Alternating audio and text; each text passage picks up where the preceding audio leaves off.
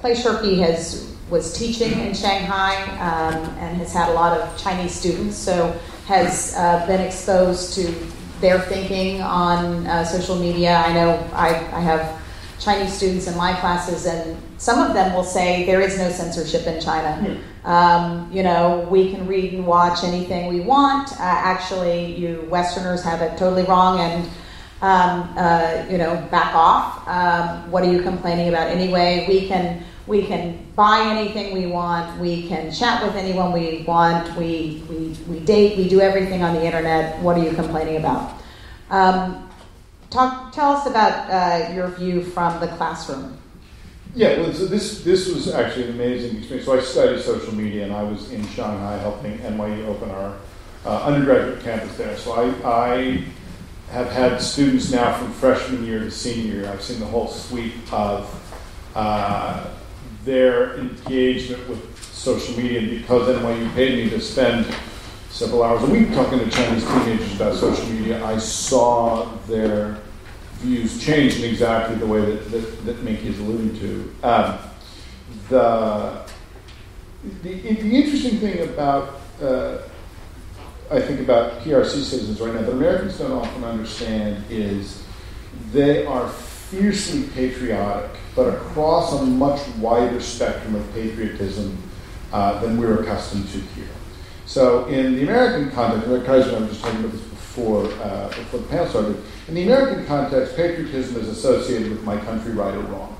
But there is a kind of patriotism, particularly among the 90s generation, who grew up in a China that had already become great, had already clearly achieved uh, essentially the greatest economic growth for the largest number of people ever in the history of economic time series, you know, worldwide.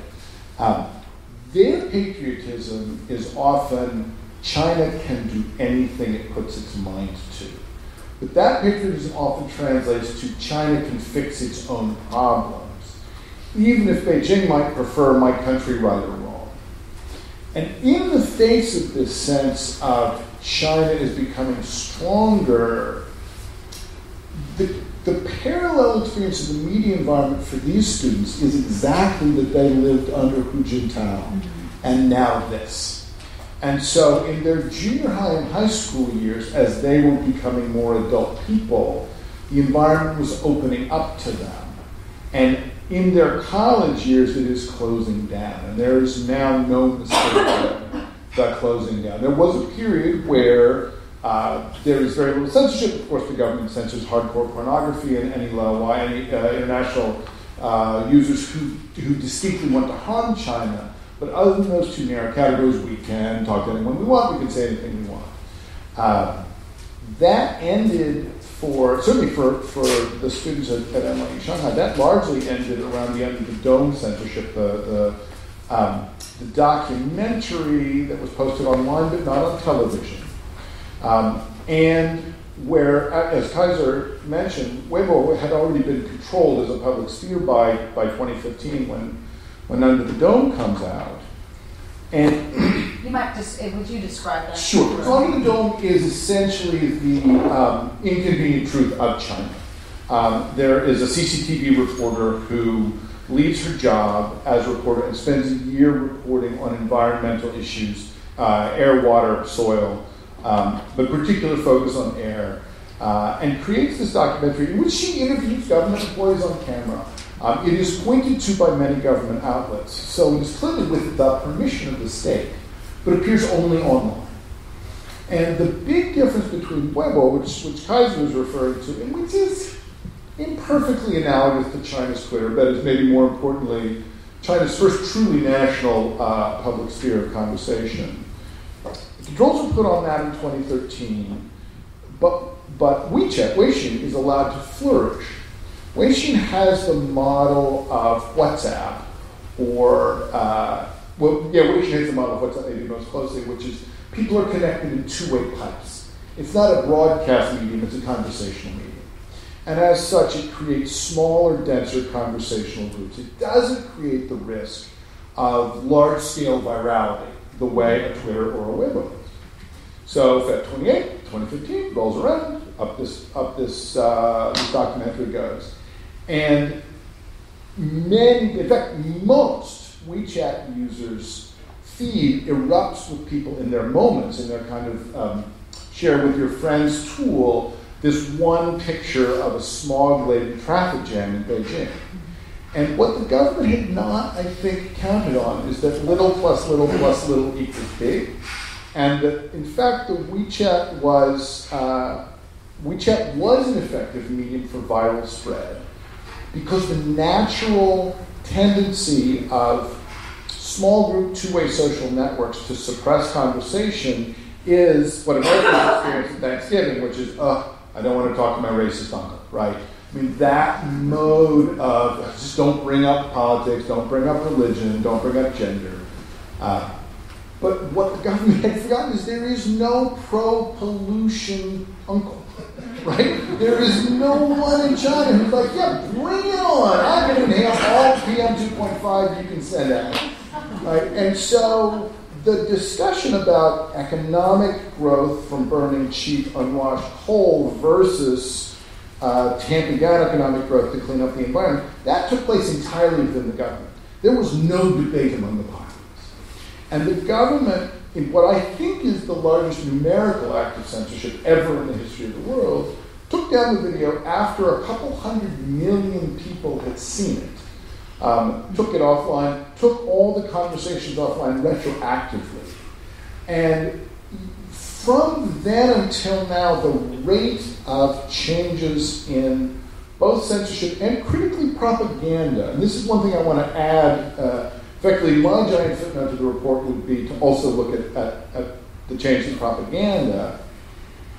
The, the merging of the press and publications agency with the film, radio, and television agency uh, the amping up of the competition between this new super censorship agency and the cyberspace administration.